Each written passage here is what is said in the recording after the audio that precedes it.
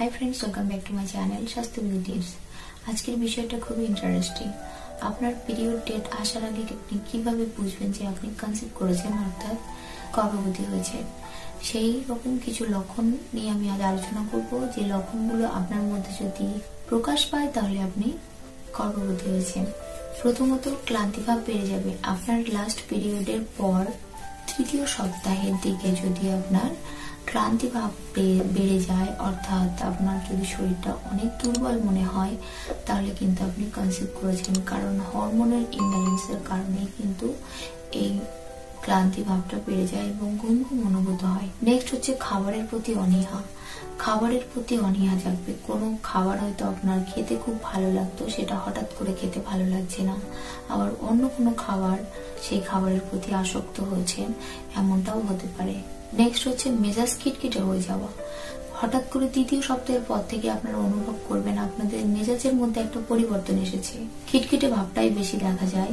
সবকিছু যেন ভালো না লাগা, অস্বস্তি বোধ হওয়া, এটা থেকেও আপনি বুঝতে পারবেন যে আপনি গর্ভবতী হয়েছেন। নেক্সট হচ্ছে মাথা ব্যথা।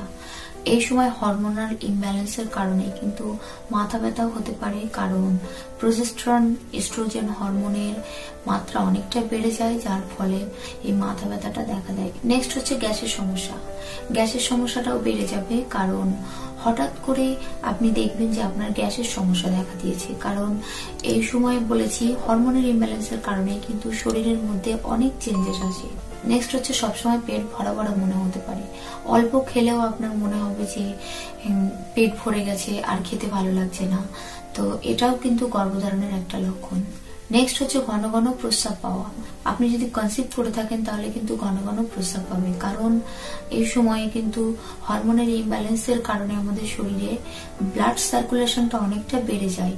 আর রক্ত প্রবাহের মাত্রা বেড়ে যাওয়ার কারণে কিন্তু ঘন ঘন প্রস্রাব পেতে থাকে। নেক্সট হচ্ছে স্তনে ব্যথা। স্তনে ব্যথাটাও কিন্তু প্রেগনেন্সির একটা লক্ষণ। কারণ হরমোনের ইমব্যালেন্সের কারণেও এটা হয়ে থাকে। তো স্তনে ব্যথা কিন্তু ওভুলেশনের সময় থেকেই হয়ে থাকে। তো ওভুলেশনের ফলে স্তনের ব্যথা হয় এবং প্রেগনেন্সি কনসিভ হলে কিন্তু স্তনে ব্যথা হয়। তবে তৃতীয় সপ্তাহের পরে যদি আপনার স্তনে ব্যথা অনুভূত হয়, তাহলে কিন্তু আপনি কনসিভ করেছেন। এছাড়াও রক্তক্ষরণ।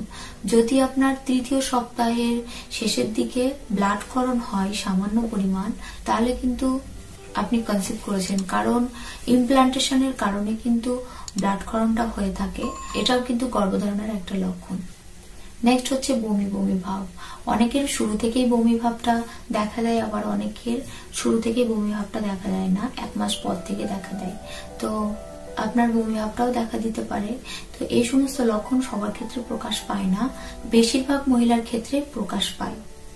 যারা বেবি নেওয়ার জন্য চেষ্টা করছেন, তারা ওভুলেশন পিরিয়ড পার হওয়ার পর অবশ্যই তৃতীয় সপ্তাহ থেকে একটু খেয়াল রাখবেন। এই সমস্ত সিমটমসগুলো যদি আপনাদের মধ্যে প্রকাশ পায়, তাহলে কিন্তু আপনারা শিওর হতে পারবেন, আপনারা কনসিভ করেছেন।